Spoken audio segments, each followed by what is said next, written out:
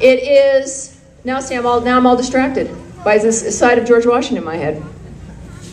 It is, I really have completely lost my train of thought. I was totally in the zone. You know, it may come back, but here's, let me do this right now instead. Uh, we are here also partly because our wallets are thinner. We are here in large part because uh, they intend to make them even thinner yet. They think that you're babies, and that they're going and that uh, Barry is going to be daddy, and Nancy's going to be mommy, when in fact they're going to be unemployed. They're not going to be mommy or daddy. But in the meantime, here's what I'm going to ask you. How many of you plan on going to the movies this weekend? Or maybe you've already done it? You some moviegoers? Yeah? Or maybe out to dinner? Let me remind you, when it comes to the cost of certain things, go to a movie, couple tickets, maybe 20 bucks, concessions, another 10 to 15, parking. Maybe you get a snack, even fast food. By the end of a family night out, maybe you do it once a month, it's about 50 bucks. Maybe it's 20 for some of you, right? Maybe you're spending 15 bucks a month on Netflix. Let me ask you, and I know some of you have got change in your pockets. I'm not asking for credit cards or checks. You got some volunteers here in some red shirts. Well, thank you, sir. $20 bill.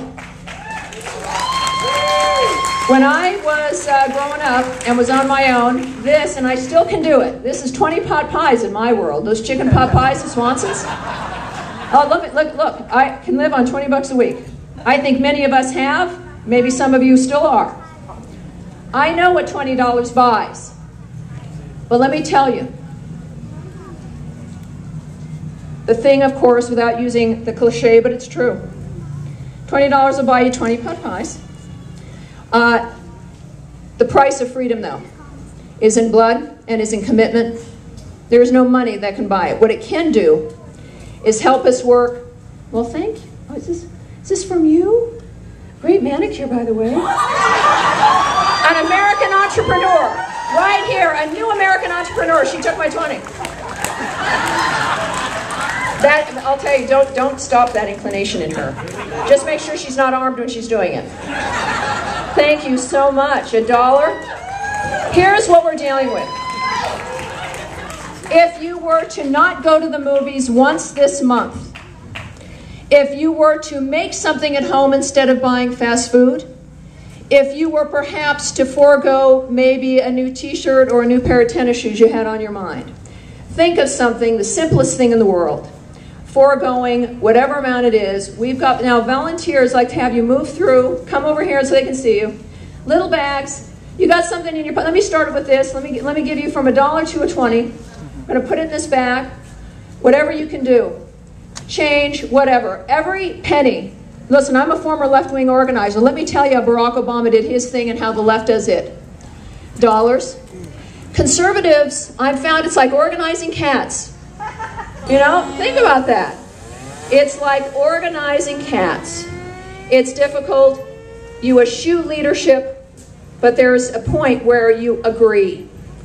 For nothing else but the sake of this nation, for the people left bleeding and dead on foreign soil to free them, for those still underground in France, of all places, for those who will never come home after sneak terrorist attacks, either in Japan or in New York City.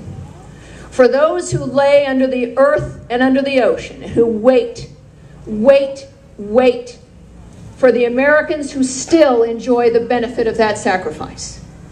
Make a little bit more, make different choices, a little bit, whatever you can. This organization, there is no major funding for this, uh, and it's difficult.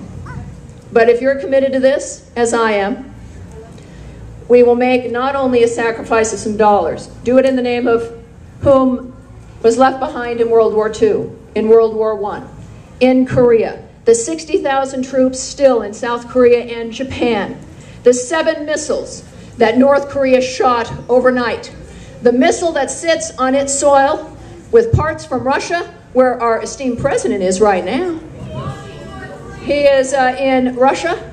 as a missile sits in North Korea made with Russian parts we have found, and, an, and a machine, an engine that can reach Hawaii, Alaska, Seattle, and San Francisco.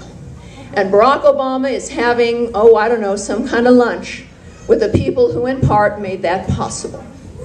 So when we think about what our commitment is, your time, volunteering, and the difference a dollar makes, that the left does what it does because, look, liberals have pretty much less money than we do, all right? Because they're reliant on unions. I know there are some union members here probably. How many of you are union members? I'm a union member from uh, the Radio and Television Artists of America. I have to send them money every month. For some union members, it's about a cap, about what you can make. Barack Obama wants America to become a union. They want a ceiling on the American dream. For some of you, the American dream isn't a home at all. Maybe it's a, ca a cabin or a tent where you're camping. Maybe it's about traveling. Maybe it's about your RV as you go through America and look at its beauty. Maybe it's that you're a renter and you're saving all your money, not for a house necessarily, but to make sure you can get your girls into the dance school or into the private school. Let me tell you right now, those things are indeed luxuries and dreams. We have work to do next year, making sure that there is, look, not a Republican victory. I don't give a damn about the Republicans. Forgive me for those of you who are Republicans. I don't care who saves this country. Who gets rid of these taxes? Who cuts that socialism head off at the neck? I don't care what letters after the name. I want a conservative victory in 2010.